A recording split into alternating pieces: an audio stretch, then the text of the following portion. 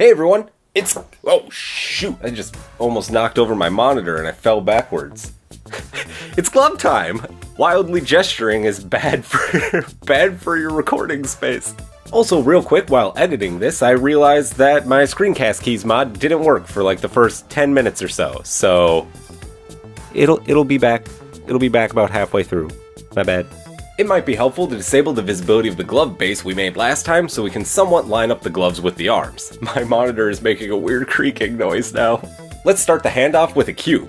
Move it to where you think the hand goes, typically at the end of the arm, somewhere around here.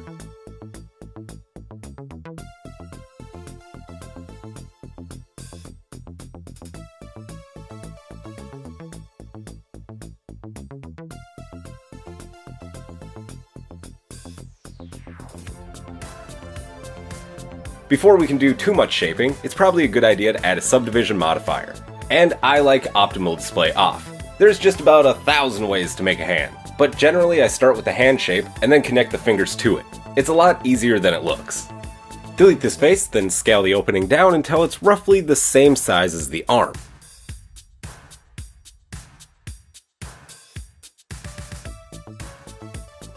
It's not going to line up perfectly since I didn't go with an 8 vertex circle on the arm, but it's fine. It's fine. That's what the hand socks are for. Also retoppling, but mostly the hand socks.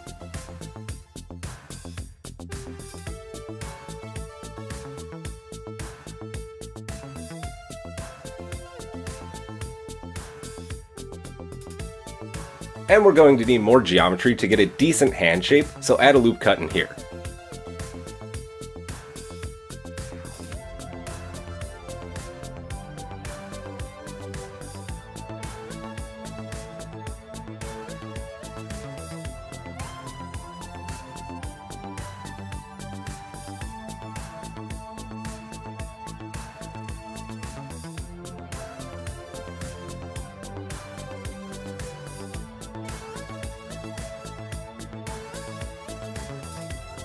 Let's delete the face where we're going to attach our fingers, and then resize the opening a bit. The positioning of the current editable vertices doesn't really matter. Pay attention to the subdivided geometry underneath as you position. so Just pay attention to the subdivided geometry underneath as you're positioning things.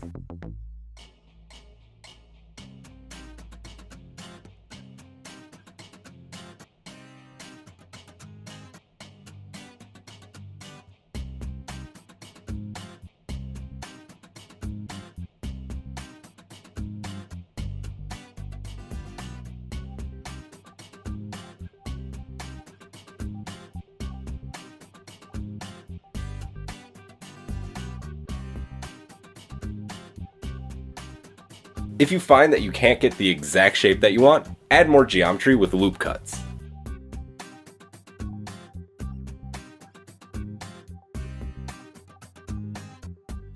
Hands kind of jut out on the thumb side, so this cut here will allow me to get that shape better.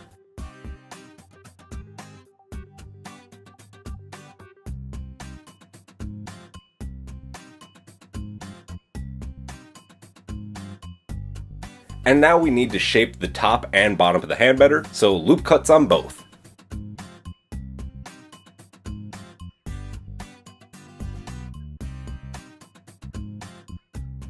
Your fingers attach to your hand in sort of an arc, so I generally try to mimic that with my hand shapes.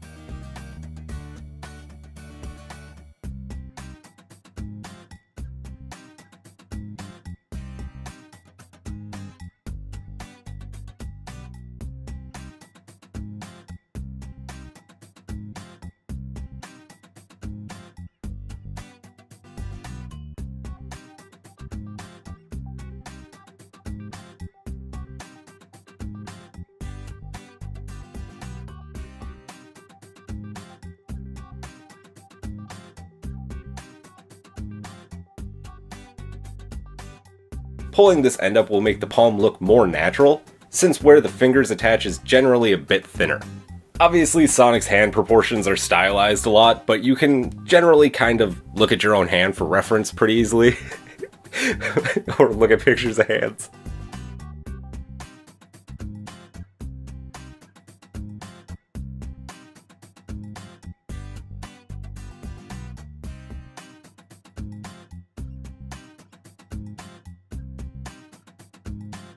Just a few more minor changes and we can start adding fingers.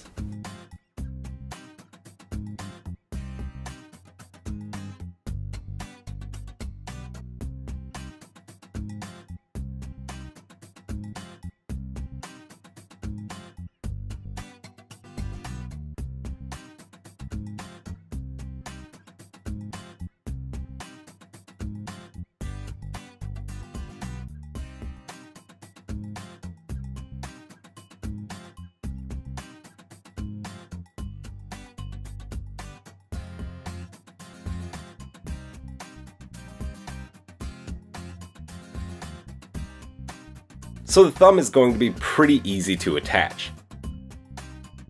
Select this vertex, hit Ctrl B to initiate a bevel, and then hit V to turn on vertex bevel.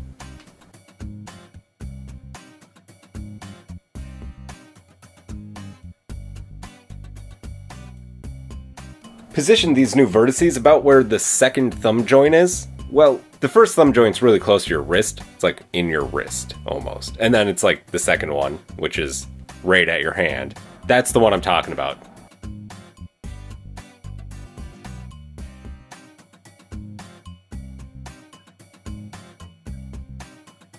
When it's in place, extrude a face outward, and then position the thumb tip.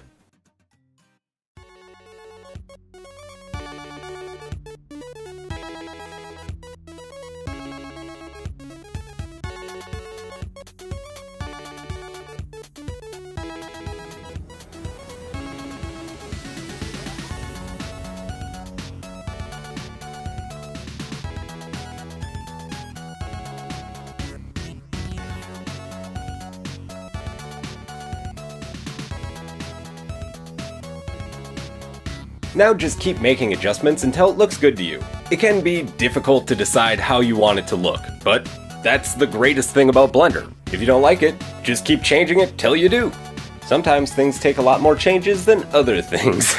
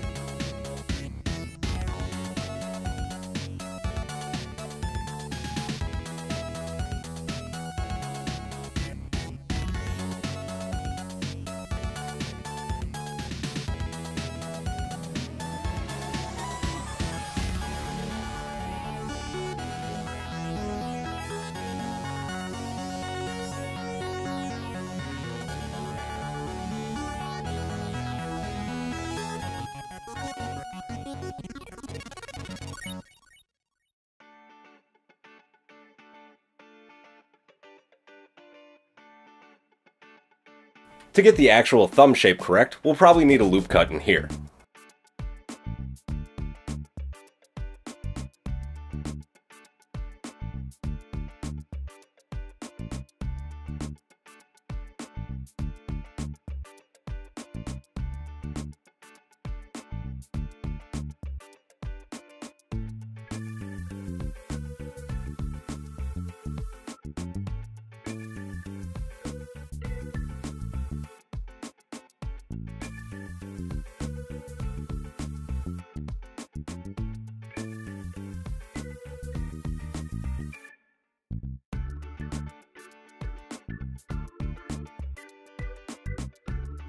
I think that's looking pretty good. So let's save our project. Don't forget to save your project often. You can't save too much, but you can not save enough. So let's add some fingers. We can start with a cube or a plane or anything really, so let's just add a plane. Get it rotated and in place.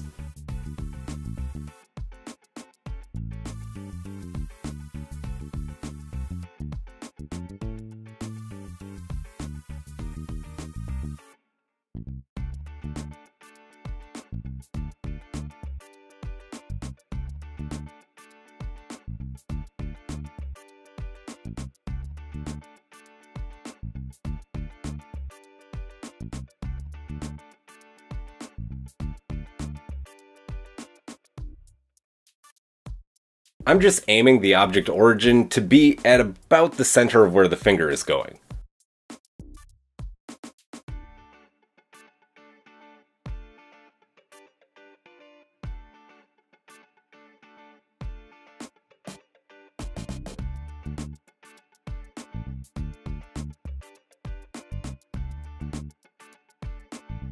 Once the shape is right, extrude out along the x-axis.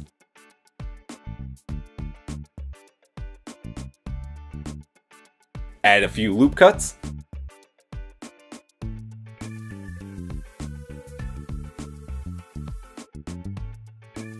Delete this face on the hand side, subdivide and shape the finger.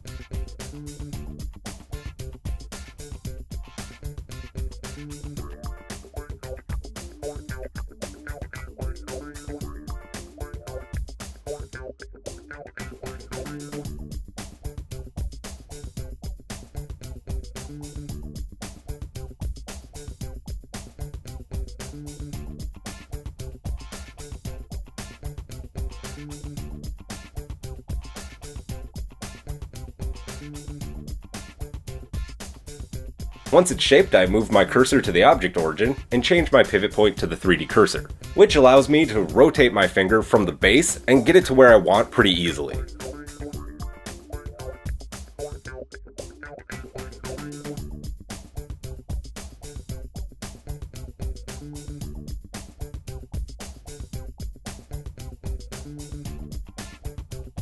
And then a little trick I like to use is to duplicate my finished finger, adjust them slightly, position them, and they become the other fingers.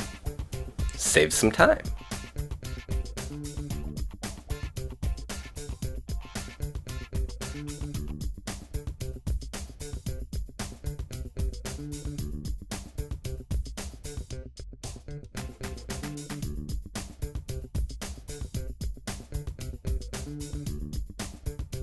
I accidentally moved my object in edit mode, so the origin shifted. So if I select these four vertices and move my cursor to selected, I can then move my origin to cursor, and all is right in the world again.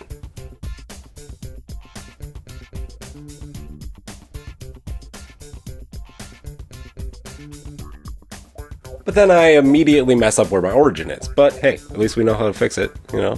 Thank you all for watching. My computer can't handle a 30 minute video, so I had to split it into two. The next part will be next week. Love you all, stay safe, goodbye!